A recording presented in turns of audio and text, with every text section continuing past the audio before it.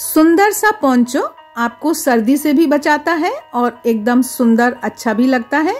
बनाने में भी आसान है।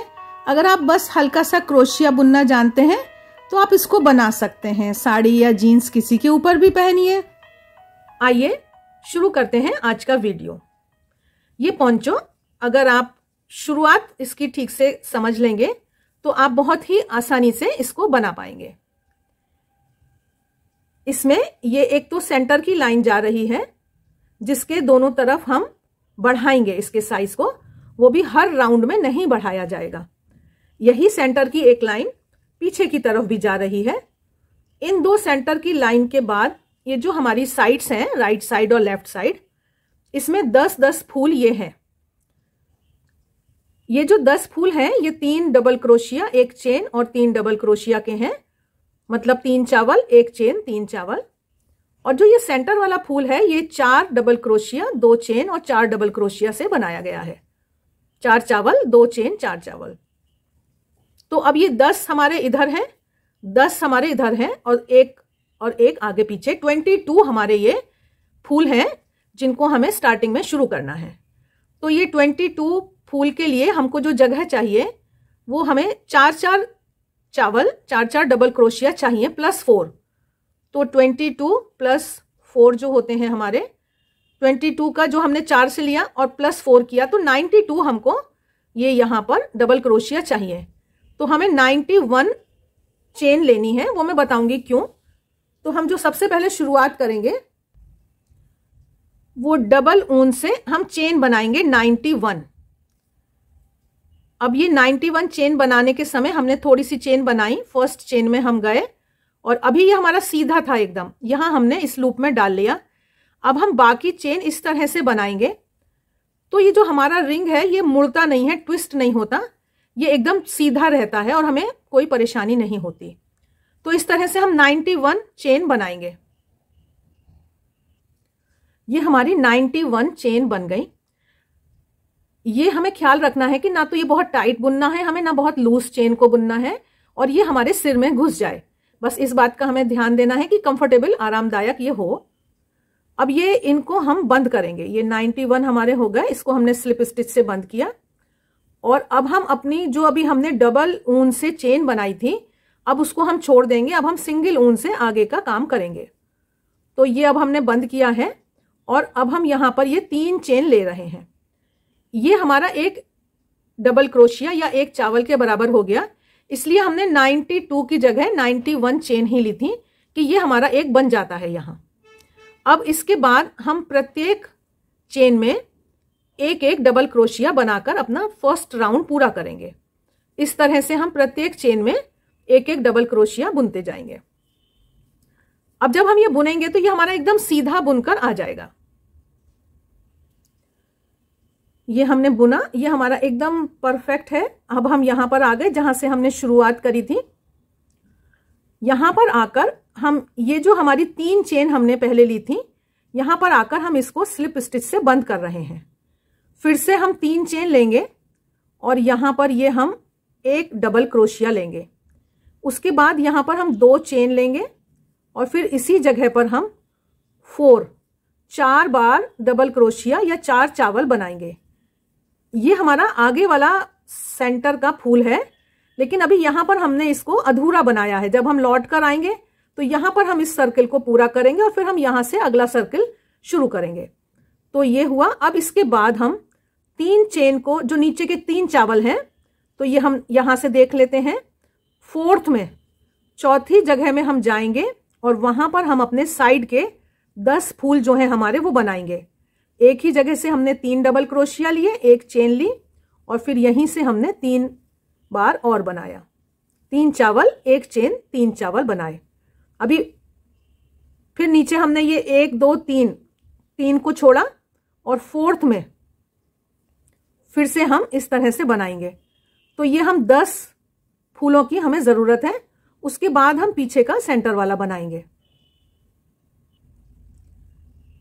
ये स्टार्टिंग वाला हमारा बड़ा फूल और उसके बाद ये हमने टेन दस जो है, ये छोटे वाले फूल बना लिए हैं। अब हम फिर से पीछे वाला जो हमारा सेंटर का बड़ा बनेगा, वहाँ पर आए हैं। तो यहाँ पर हम चार बार। चार डबल क्रोशिया दो चेन और चार डबल क्रोशिया एक ही जगह से ले रहे हैं। इसके बाद फिर हम दूसरी साइड वैसे ही छोटे वाले जो हैं, तीन तीन वाले जो हैं, वो हम बनाएँगे। ये हमारा फिर से एक बड़ा फूल हो गया, एक आगे का और एक पीछे का। अब इसके बाद फिर हम चल रहे हैं, वही तीन छोड़ना है, तीन, ये वन, टू, थ्री को छोड़ना है और फोर्थ में हमको बनाना है। दो फूल के बीच में, यहाँ और यहाँ यहाँ पर हम कोई चेन नहीं ले रहे हैं, सिर्फ़ ये डायरेक्ट हम बनाते चले जा रहे हैं। ये ब्राइलोन ऊन है, पतली ऊन है आप माइक्रो भी एक ऊन आती है, वो भी ले सकते हैं, या और भी कोई पतली ऊन ले सकते हैं। बहुत मोटी ऊन लेने से ये भारी हो जाते हैं। फिर से नीचे तीन को छोड़ा स्किप किया, और फोर्थ में, चौथे में हम बना रहे हैं। ये जब हम लेते हैं, एक दो तीन को छोड़ के फोर्थ में तो ये दो ऊन ऊपर रखते हैं। पूरा एकदम नीचे से नहीं ले रहे हैं तो अभी जैसा भी आपको करना है, एक जैसा करना है। इस बात का आपको ध्यान रखना है। ये अब इधर हमारा ये दस हो गए हमारे, और इधर भी दस हो गए, और ये हमारा ये सेंटर का बन गया। अब हम यहाँ पर आए हैं। तो यहाँ पर अगर आपका एक चेन ज़्यादा हो रही है तो आप नब्बे से भी शुरू कर सकते हैं, नहीं तो ये हम यहाँ पर बनाएँगे तो ये ठीक ही बन जाएगा हमारा। अब ये जो हमारा स्टार्टिंग थी, ये जो यहाँ पर है, यहाँ पर आकर हम फिर से दो हमको डबल क्रोशिया यहाँ बनाने हैं। ये जो हमारा शुरुआत वाली जगह है, और फिर उसके बाद ये जो तीन चेन के ऊपर जो हमारी ये आ रही है, इसमें हमको स्लिप स्टिच से इसको बंद करना है। तो ये हमारा सेंटर का जो फूल है, ये बन गया। अब उसके बाद हमको एक और बार यहाँ पर स्लिप स्टिच से लेना है, और फिर यहाँ पर हम तीन चेन लेंगे। और एक डबल क्रोशिया फिर दो चेन और फिर फोर टाइम्स हम यहाँ पर डबल क्रोशिया लेंगे। जैसे हमने शुरुआत में करा था स्टार्टिंग जो करी थी हमने, तब भी वो इसी तरह का हमारा फूल था ये। यहाँ आधा कमी है, वो हम लौट कर आकर यहाँ पूरी करते हैं और वो इस तरह से पूरी हो जाएगी। तो ये सब कुछ हमारा ठीक हो गया है, ये शुरुआत हमारी ठीक हो गई है। अब ये जो है, यहाँ पर हम इसको टाइट कर देंगे, गांठ लगा देंगे, ऊन को छिपा देंगे। अब इसमें है बात कि इसको बढ़ाना कैसे कैसे है कब कब है। इस पॉन्चो को बढ़ाना कैसे है? आइए वो थोड़ा हम देख लेते हैं। फ़र्स्ट राउंड हमने बुना था दस दस दोनों तरफ़ सेंटर का एक एक बड़ा। अब सेकंड राउंड में हमने यहाँ पर आकर इस सेंटर फूल के दोनों तरफ़ बढ़ाने का काम होगा फ्रंट में भी और बैक में भी।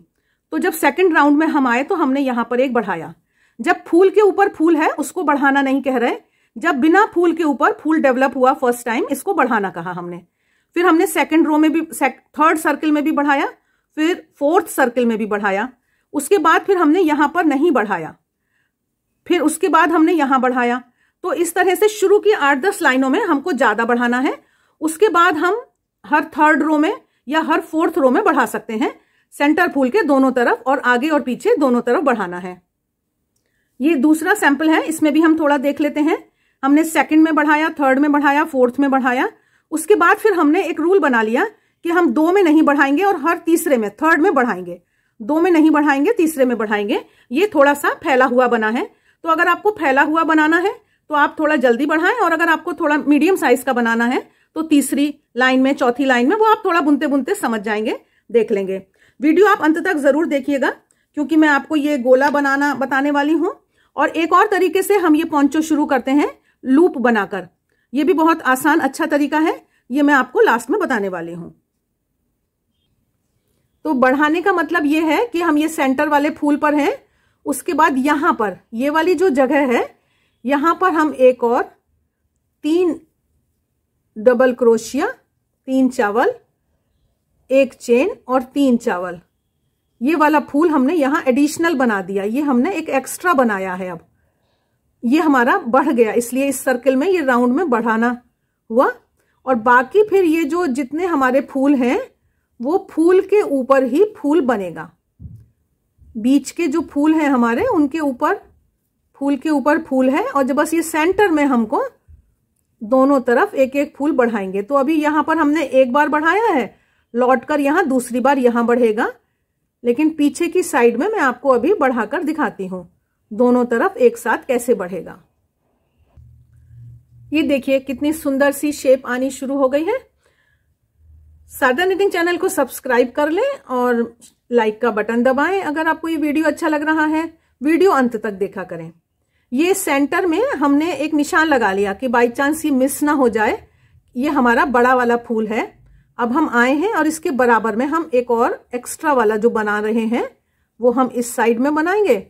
ये हमने तीन डबल क्रोशिया एक चेन और तीन डबल क्रोशिया ये हमारा एडिशनल एक नया हमने बनाया है फूल। इसी से हमारा साइज़ बढ़ता है। फिर इसके बाद हमने यहाँ सेंटर में हम अपना वही चार बार बनाएँगे यहाँ डबल क्रोशिया और दो चेन लेंगे और फिर से चार डबल क्रोशिया बनाएँगे। फिर इस फूल के दूसरी साइड की जो जगह है, यहाँ पे भी हमको एक एक्स्ट्रा वाला फूल बनाना है। बस इस तरह से ये हम बढ़ाते जाएँगे अपने साइज़ को और फूल के ऊपर फूल और यहाँ सेंटर में हमको एक एक एडिशनल बनाना है। हम हर तीसरी सलाई पर कर सकते हैं या थोड़ा सा वो आप बुनेंगे तो आप देखेंगे, आपको समझ आएगा। ये हमारे बढ़ गए दो फूल और अब हम हम इनको फूल के ऊपर फूल बना रहे हैं। जिस राउंड में हमको बढ़ाना नहीं होता है, उस राउंड में हम बस फूल के ऊपर फूल बनाते जाते हैं और सेंटर वाले फूल के ऊपर भी फूल बना लेते हैं। आइए अब थोड़ा इसके साइज़ की बात कर लेते हैं। ये बहुत बड़ा एक्स्ट्रा लार्ज साइज़ का है और इसमें लगभग 50 राउंड बुने गए हैं। जो सेंटर की हमारी लाइन है, ये इसकी लंबाई ज़्यादा होती है, जो आगे और पीछे आती है, जैसे आपने देखा, और ये जो साइड्स है, इसकी लंबाई थोड़ी कम है। ये जो सेंटर वाली लंबाई आई, वो इसकी लगभग 31-32 इंच के करीब आई, झालर इसमें एक्स्ट्रा हुई। और ये जो साइड है, इसकी लंबाई लगभग 27-28 इंच के करीब है। ये बहुत बड़े साइज़ का है। आप इससे पाँच इंच छोटा भी बना सकते हैं। तो वो सेंटर में हम जब छोटा करेंगे तो वो साइड अपने आप छोटी हो जाएँगी। 40 या 42 40 42 राउंड लेकर अगर आप बनाएँगे तो भी काफ़ी अच्छे साइज़ का पॉन्चो बन जाएगा। डबल ऊन से ये हमने चेन बनाई हुई है। सिंपल चेन है एकदम। इसकी हम डोरी गले में डालेंगे और इसी में हम वो लड्डू गोल गोल जो है वो हम लटकाएँगे। ये हम सुई से लेकर सेंटर से स्टार्ट करेंगे। आप हर तीसरी तीन डबल क्रोशिया नीचे, तीन ऊपर ऐसे भी कर सकते हैं, दो के नीचे ऊपर से भी निकाल सकते हैं। दो हमने नीचे करे हैं, दो ही के ऊपर से ऐसे करके निकाल लिया। डबल ऊन लेकर हम तीन चेन बनाएँगे, हम गोला बनाने जा रहे हैं हम। तीन चेन बनाई हमने, और अब फ़र्स्ट शुरुआत में हमने इसको लेकर लूप बना रहे हैं हम। आप जितना छोटे से छोटा लूप बना सकते हैं, उतना ही अच्छा होगा। फिर हमने दो चेन ली हैं अभी शुरुआत में। और अब ये जो बीच में सर्कल बन गया, ये जो हमारा गोला बन गया है, इसमें से हम इसमें ये डबल क्रोशिया बना रहे हैं। आप आठ, दस, जितने भी डबल क्रोशिया इसमें भर पाते हैं, उतने आप भर लीजिए। ये हमने दस टेन टाइम्स हमने इसमें डबल क्रोशिया बनाया। अब हम ये जो पहली वाली शुरुआत है, वहाँ पर आके हमने स्लिप स्टिच से इसको बंद किया। फिर हम दो चेन ले रहे हैं, और अब हम दस के ऊपर दस जो हमारे टेन डबल क्रोशिया हैं, उनके ऊपर फिर से हम टेन डबल क्रोशिया, दस चावल फिर से बना रहे हैं, दस चावल के ऊपर दस चावल।